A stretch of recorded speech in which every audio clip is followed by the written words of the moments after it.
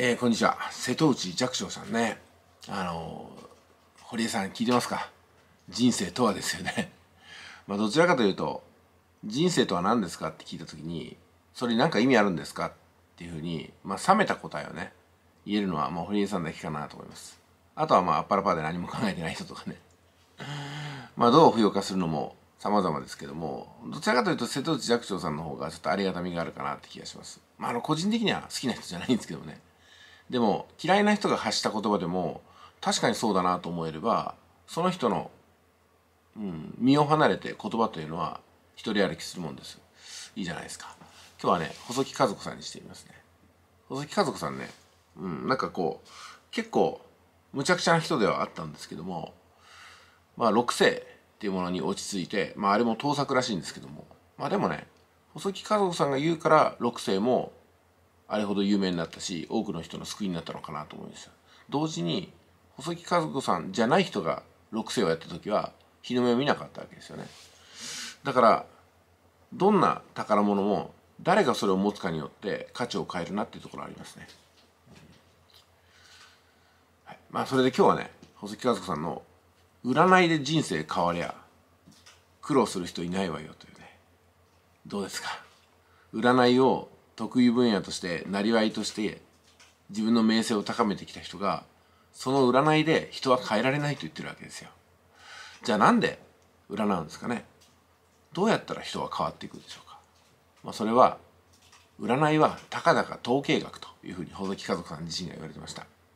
その統計学をどう捉えるかじゃないですか？そういう数字があるんだけどもだけども自分はどうかなと、まあ、大体ですね人の意見を欲する人って大体人の意見を聞かないんですよね、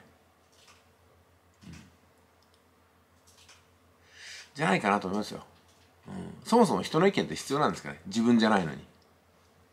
自分の決断に他者の決断が何で必要なんでしょうか？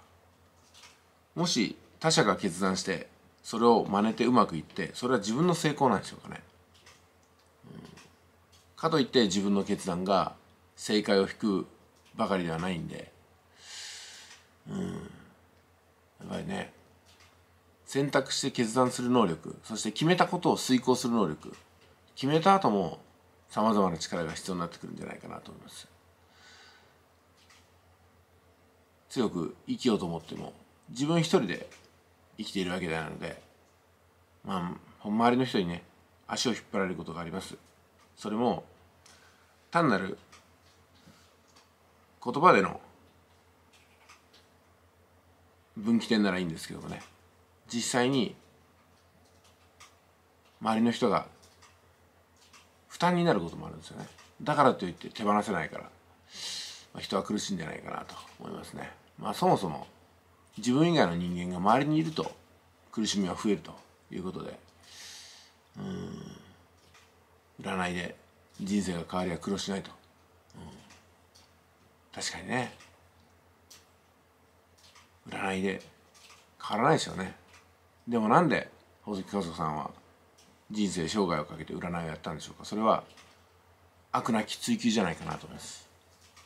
占いで人生が変わりや苦労する人はいないと。占っても占っても人は新しい悩みや苦しみを必ず見つけてくると、うん、だったら探すことをやめて思うままに生きたらいいんですけどね。いやいろいろとねこの細木家族さんには教えられることがあったかなと思います。じゃあ今日も行ってみましょうか。10月13日深夜2時営業開始です。